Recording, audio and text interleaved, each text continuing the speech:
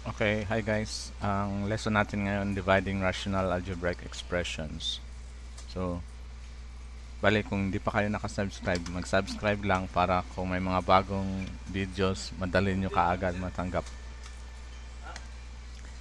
Ang sa dividing rational ex algebraic expressions, ito yung rule, no? So, yung quotient ng dalawang algebraic expression is the product of the dividend and the reciprocal of divisor. Ibig sabihin, so kung makikita nyo rito, no, yung divisor natin na C over D, kukunin natin yung reciprocal nun. So magiging D over C. Tapos, yung process na gagamitin, hindi na division, kundi magiging multiplication na. Pero ganun pa rin, dapat yung B, C, and D is not equal to 0 para rational pa rin siya no?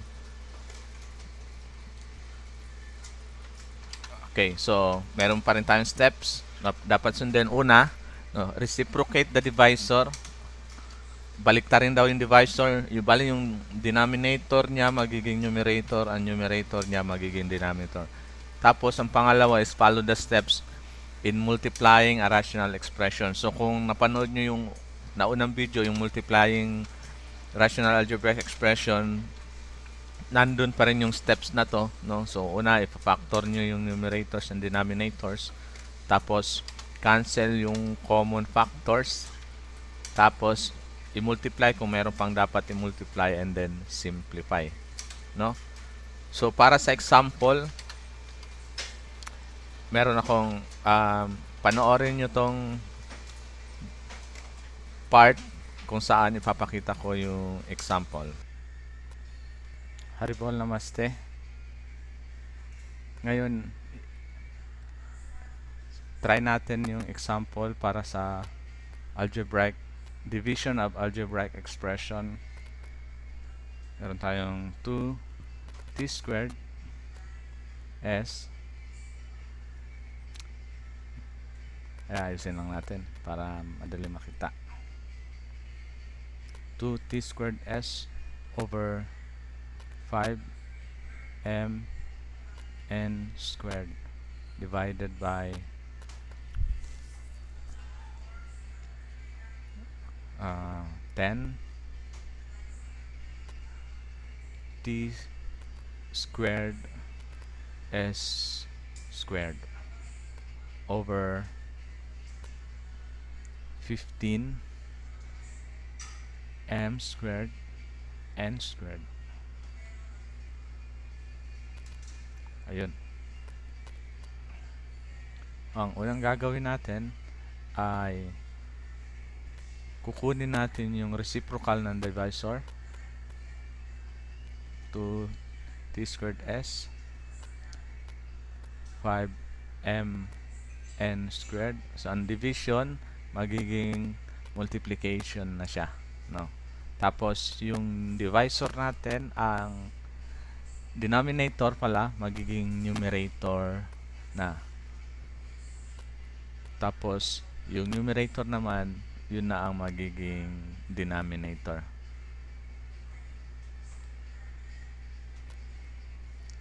Tapos pwede na tayo ngayon mag multiply i-apply natin yung multiplication process. Okay So 2 times 15 30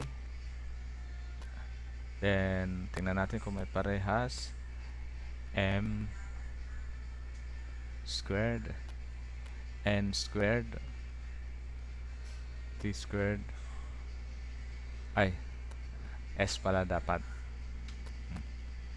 Ang kadalasang ginagawa ko ina-arrange ko na yung mga letra or variables sa alphabetical na order para mas magandang tingnan. Hindi naman talaga siya required pero kung i-arrange niyo siya ng alphabetical mas mas malinis tingnan, mas madali makita no yung pagkakaayos so 10 times 5 is uh, 5 times 10 is 50 11 m tapos n squared, s squared, t squared. Okay. Ngayon, maghanap tayo ng number na pwedeng i-divide sa dalawa nating coefficient. Sa 30 at sa 50. Ang nakikita ko ay 10, no? Pwede nating i-divide sa 10.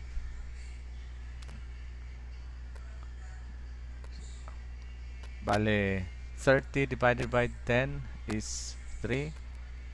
So, pwede na nating makancel yung 0. 50 divided by 10 is 5. Cancel natin 0. m squared over m. Cancel na natin to. Tapos sa taas naman, isa na lang ang may iwan. n squared over n squared, pwede natin cancel dalawa. s over s squared, cancel to. Ito naman, isa na lang ang may iwan. No? Tapos t squared over t squared, cancel silang pareho. Ngayon, tingnan natin kung ano yung naiwan.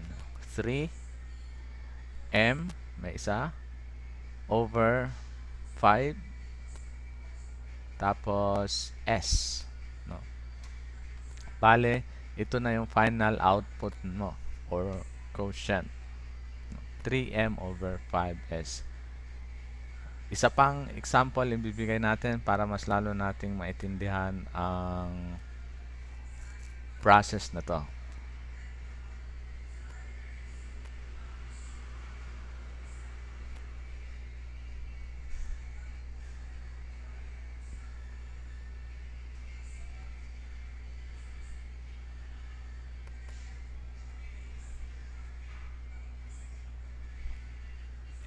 four x minus 4 over x squared minus 1 linisan lang, ayusin lang natin para madali mabasa. X squared minus 1 divided by 8x plus 12 over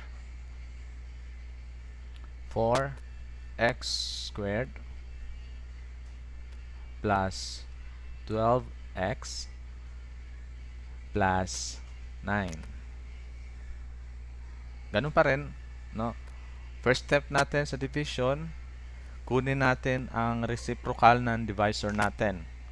So, yung divisor yun yung 8x plus 12 over 4x squared plus 12x plus 9. So, divide, division magiging positive uh, multiplication pala. Tapos, yung denominator naman, ayun. Ito na, um, numerator, maging numerator na yung denominator. Tapos, yung dating numerator, gagawin naman nating denominator. Pagkatapos ng step na yan, sundin na natin yung steps kung paano mag-multiply ng algebraic rational expression. So, ang unang-una, tingnan natin yung ifa-factor natin. Hanap tayo ng number na common dito, no? Mag-start tayo dito sa baba. So, common is 4. Bali, x minus 1 ang 4 times x minus 1 ang factor nito, no? So, 4 times uh, uh, 4 divided by 4x divided by 4 is ano is 4 tapos negative 4 naman divided by 4 is negative 1. So 4 times x is 4x, 4 times negative 1 is negative 4. So sa baba tayo, x squared plus 1. Ito special product ito siya kasi yung unang term makuha natin square root, ang pangalawang term makuha rin natin square root tapos negative ang sign. No? Dalawang term lang, tapos negative ang sign na both makuha ang square root. So, special product siya. Ganito ang pagkuha naman ng factor nito. Unang term, square root ng x squared ay x. Lagyan natin dyan. Ang square root ng 1 naman ay 1. Tapos, negative ang isa, positive ang isa. Yun yung special na factor dito. Tapos na tayo dito sa dividend. Ah, ngayon dito naman tayo sa kabila. Kunin natin yung factor ng 4x squared plus 12x plus 9. Ano yung square root nitong first term natin? 4x squared. Bali 2x. So, lagay natin magkabila ang side. Tapos, square root nung last term natin. Bali 3 plus 3 plus 3. Yan. No? So, kung mapapansin nyo, 3 times 3 is 9. 2x times 2x is 4x squared. Para makuha naman natin ang gitna, gamit ang FOIL method, no? 3 times 2x is equals 6x. No? So, ito yung inner part ng foil. Tapos, sa outer part naman, 2x times 3 is 6x din. So, pag pinagsama natin itong dalawa, makuha natin ang 12x. Kaya, tama yung factoring natin. Okay, tingnan natin itong denominator. No? Yung denominator natin, linear siya. Ah, linear siya. Hindi siya quadratic. So, kunin natin yung number na common sa kanilang dalawa. Ano yung common sa dalawang number? Pwede nating i-divide 4. I-divide natin, 8x divided by 4 is 2x. Tapos, 12 divided by 4 is 3. So, 4 times 2x is 8x, 4 times 3 is 12. Tama yung factor natin. Ganun lang yung pag-check sa factor. Ngayon, dahil na kuha na natin, mapapansin natin na merong mga magkakaparehas na mga expression. Kagaya nitong x minus 1, sa baba meron ding x minus 1. So, any number divided by itself is equivalent to 1. So, pwede na nating i-cancel out to. Ibig sabihin, 1 ang value niyan. Hindi na natin kailangan isulat ang 1. Automatic na yun. Meron pa rito 2x plus 3. Sa taas, 2x plus 3 din. Pati rin yung 4, cancel na natin to. No? So, ang may iwan sa atin ngayon, uh, dito natin lalagay, no? Sa taas, meron tayong 2x plus 3 over, ang baba is x plus 1. No? x plus 1. Ito ang magiging final output natin. Okay, salamat sa panonood. Hopefully, meron kayong natutunan sa lesson na to. Harbol, namaste.